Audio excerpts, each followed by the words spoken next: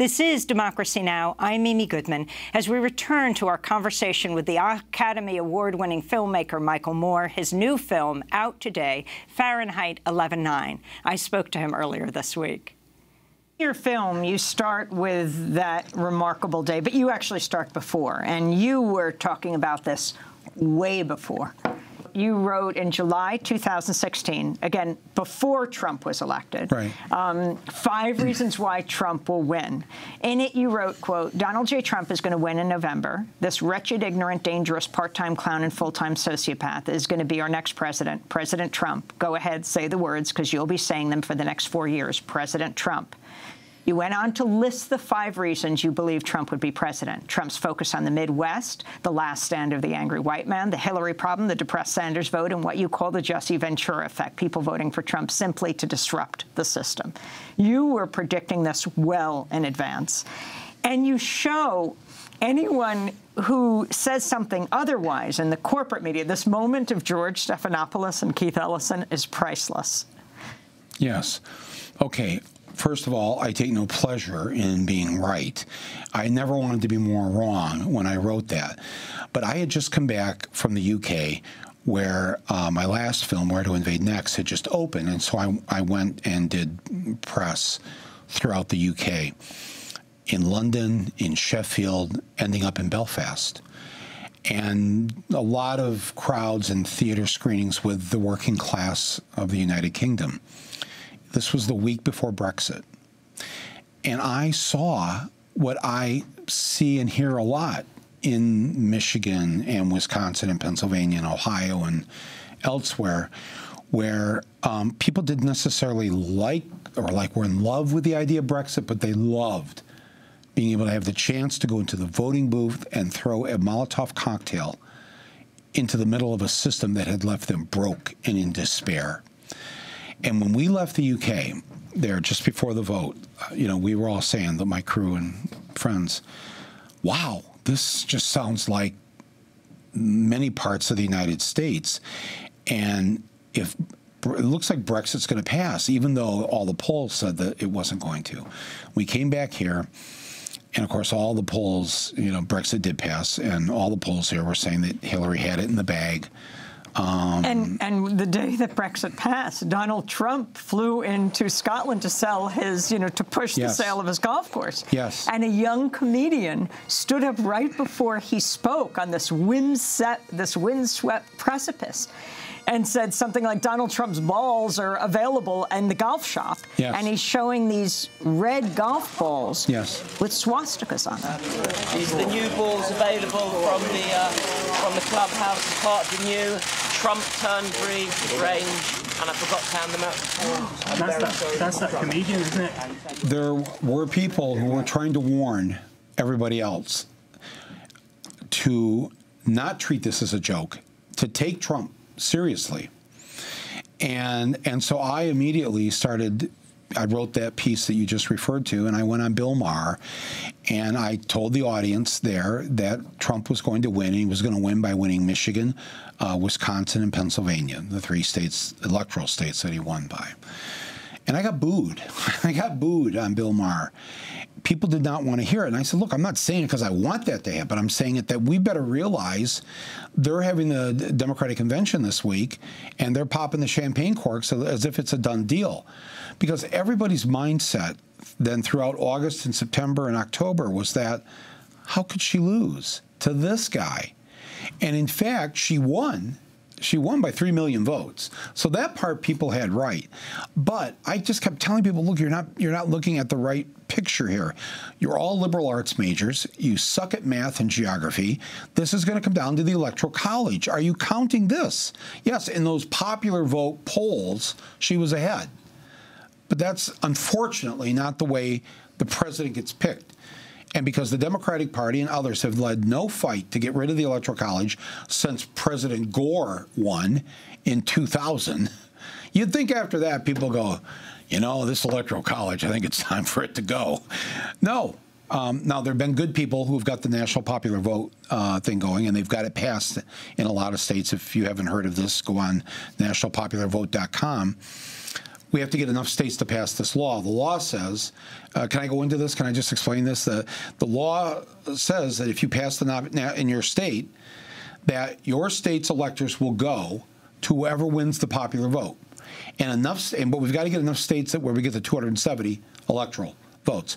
We've got enough states now that have passed this where we're up to 172 pop, you know, electoral votes. So we just need enough states that have 98 electoral votes left, and then that's that. And now the winner, who actually wins the popular vote, will be the president of the United States. So there's a possibility of fixing this without having to go through the machinations of changing the uh, the Constitution. So to get back to what happened in the summer of 16, uh, I couldn't get anywhere, and I couldn't convince Democratic uh, Party leadership types. I I couldn't get you know people who vote Democratic to listen to me. I started to feel there I must have communication skill issues because somehow I'm not getting this through to people. You're not taking Trump seriously. And you were talking about the blue states that uh, yes that Obama had won that you thought Trump was going to win. Yes, right. Yes. Ohio and, and your home state. And Pennsylvania. Michigan. Right. And I just couldn't get anybody uh, to listen. Nobody thought it could happen because, are you kidding? He's such an idiot. He's crazy. I said, that's why he's going to win. You know, you don't understand. He's an incredible performance artist. People love The Apprentice. I mean, people between the Hudson River and Interstate 5 love The Apprentice. They loved him on it because here's what he did every week. Um, who, who, whoever the biggest jerk was, you know, on the show that week, got to hear, "You're fired," and everybody works with that jerk.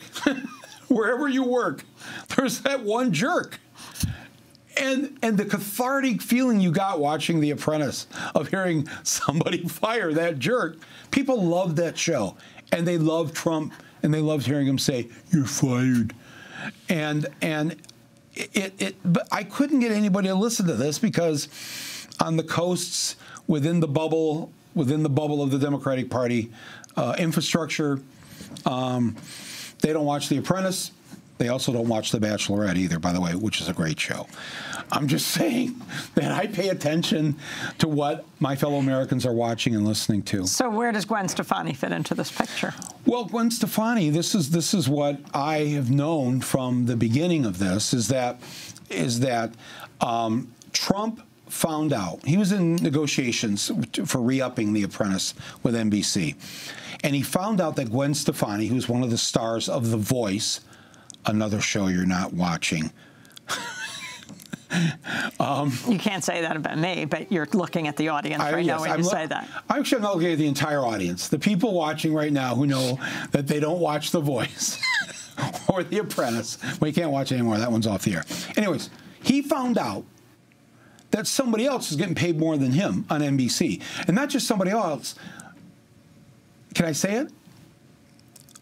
A woman a woman was being paid more than Donald J. Trump, and that, you know, makes him go like this. So he decides that he's going to show NBC. He contacts another network to put them in competition for each other for The Apprentice. And then he comes up with this idea of holding an announcement, not for real, just it's going to be a pretend thing. He's going to hold an announcement announcing he's running for president, and he's going to have a couple rallies, and he's going to show these networks just how much the American people love him out there in that vast, wide swath of land. Um, and um, and that's what he. So that's the big plan. But then so he comes down the escalator, makes the announcement, and goes off the rails and starts calling Mexicans rapists and, and criminals and murderers and whatever else. And a few days later, and the and, people cheering. And yes, the people. Well, the people cheering. The people are cheering. If you've seen that escalator, I think by now most people have seen the escalator coming down with Melania. The people cheering down there are extras, and he's paid extras fifty dollars a piece to be there in Trump T-shirts and holding signs and you know all of that. It's all fake. It's all fake. It's as fake as the gold plated escalator he's coming down. It's gold plated, folks. It's not real gold.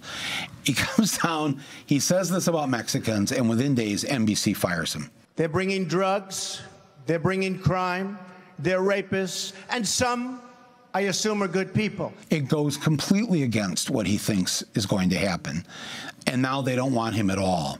And now he's lost his job because of his racism.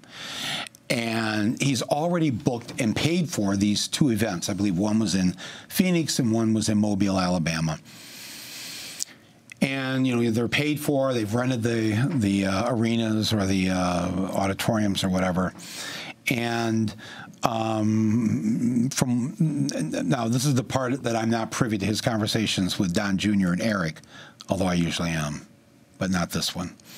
I'm going to ask you about your relationship with Jared, but that's coming. Okay, I'm, I'm ready for it. I'm I'm here. This is full transparency.